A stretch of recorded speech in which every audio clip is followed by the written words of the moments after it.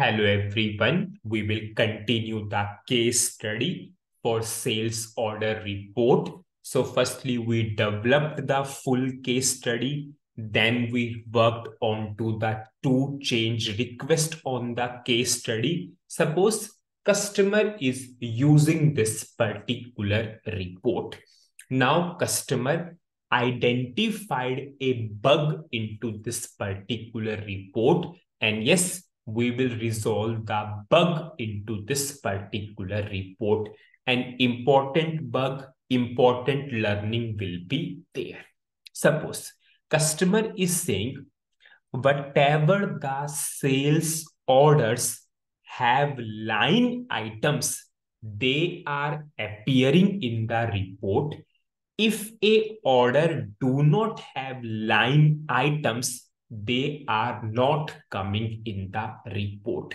I will again repeat, customer is saying, if a order do not have line items, they are not coming in the report. Yes, customer is saying it is a scenario that he or she can create a sales order. Later, they can add the line items, but it should not be the case if a order do not have line items they should they should come in the report. Line items are blank. That, that i can understand. But why why they are not appearing in the report? But yes if a order has line items they are appearing in the report. Suppose simple example. Customer is saying customer is putting that date 21st August and no order numbers are coming in the report. But if customer is checking in the table, in VBAK table, if I will put the date 21st August, if I will put the creation date 21st August, we have a order number 117. If I will check this order number, you all know, yes, with the help of VA01, you can create a sales order. With the help of VA02, you can change a sales order. With the help of VA03, you can display a sales order. If I will check this particular sales order, suppose if I will go to VBAP table, if I will show you the item data, if I will go to VBAP table, if I will go to the contents, if I will put 117 here, have you seen? There is no items of this sales order as of now. If I will show you in VA03 transaction code also, 117 if I will go 117, you can see there is no line items as of now. Yes, because customer is saying it is a scenario, it is a particular scenario. They can create a blank sales order. Blank sales order means they will only, only go for header data. They will create a sales order without item data later they can put a line items there but why why they are not coming in the report suppose? If i will go for 21st august to 22nd august suppose i am putting 21st august to 22nd august. So i have the sales orders 74 75 76 117 if I will put these four sales orders into VBAP table, if I will go to VBAP table,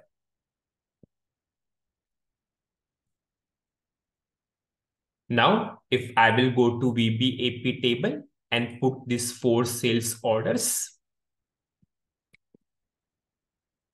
if I will go to execute, we are getting the line items of 75 for 75, 76. But there's no line items for 117 as of now. Yes, customer can later add the line items to that particular sales order. Suppose if I will go to VA01 and I'm creating a sales order. Suppose I will put order type. I'm putting some sold to party. Suppose I will put some customer reference. Now I will go for some payment terms. Now, as of now, I'm not going for line items for this sales order. I will later add the line items. If I will go to save button, I will go for save.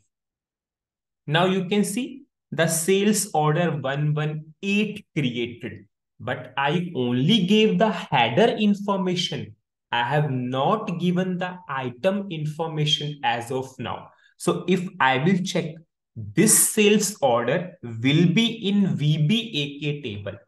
If I will go for sales order number, okay, I will put today's date. Today is 10th November. So you can easily, easily check, yes, we have the sales order number 118 in VBAK table. If I will go to VBAP table, there is no 118 here in VBAP table because I have not put any item data as of now. I will delete and I will put 118. Now you can see there is no item data. But if I will put today's date in the report it will not show any result. Suppose I will put 10th November. And if I will go to execute, now you can see it is not showing anything. So whatever the order numbers has line items, they are appearing in the report but if a order number currently do not have any line item, why they are not appearing in the report? It means there is some problem with our logic. We need to identify, yes, where the problem is and how, how we can correct that problem. An important bug, so many times we are able to identify this kind of scenario. Suppose I will put a breakpoint and tell you why, why it is happening. Then we will resolve that issue.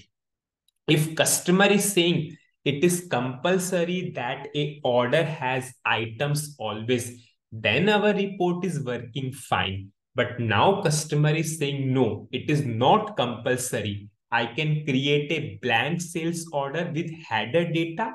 I can put the items later then in that case, yes, our report has a problem. Our logic has a problem. You all know you have written the logic in the function module. So I will put a breakpoint. Suppose I will put today's date. Today we created one sales order. Suppose I will put 10th November. I will go to execute button. I will go to desktop 3.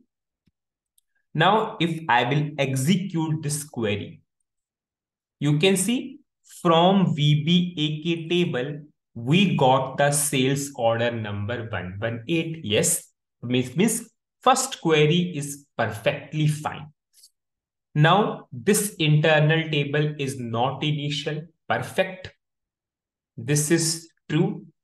Now we are fetching data from VBAP table based upon first internal table VBELN. What is first internal table VBELN? 118.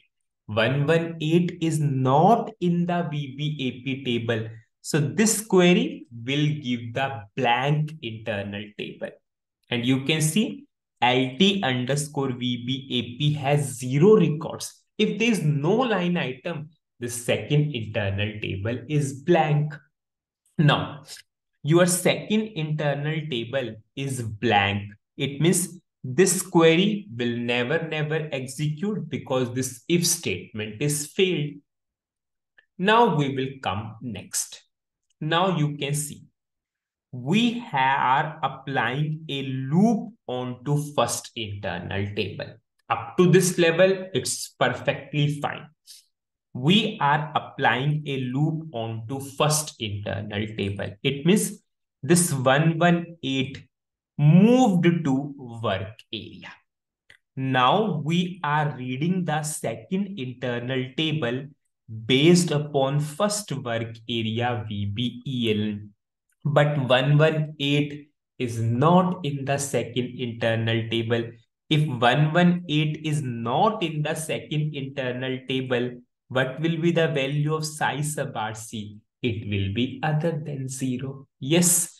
Now that's why now you can see we are putting a loop on the VBAP internal table and in this particular loop we have the logic for the append logic for the append to the output internal table just see if lt underscore vbap the record is itself not there it means nothing, nothing will append to the output internal table. That's why we are not getting anything in the output. So what is the solution? What is the solution for the same? In that case, what we need to do? If the record is in VBAP, it is perfectly fine if the record is not in the VBAP, if the it means if there is no item data, still still append should execute execute. It means this append should execute also if the record is in the header header. As of now, what we did, we put the append statement inside this inner loop, inner loop. And yes, in the inner loop, we do not have the item data. Yes, we do not have the order number. That's why it is not appending. Just see. Now it is coming onto the loop and you can see nothing. This loop is blank itself and nothing is happening. Now you can see lt underscore output, which is our output internal table, it is completely blank. So what is the solution for the same? If the record is only, only in VBAK, it is not in VBAP, but still we need to append it to output internal table with blank item data because customer is saying, yes, if customer is saying, no, I want only those sales order number which are which has item data. In that case, our logic is perfectly fine. There's no problem at all. But yes, now this is not the scenario. Customer is asking, no, I can create a blank sales order and I can add the line items later, but they should appear in the report. So what is the summary of the video? In this video, customer came up with a bug in the report.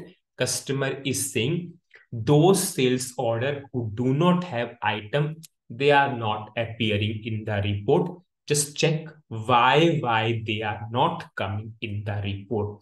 And we identified the reason that why they are not coming in the report because we have written the append logic in the loop of item data, item data.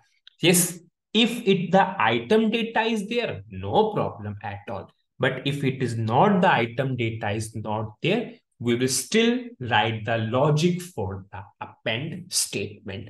In the next video, we will create a new transport request.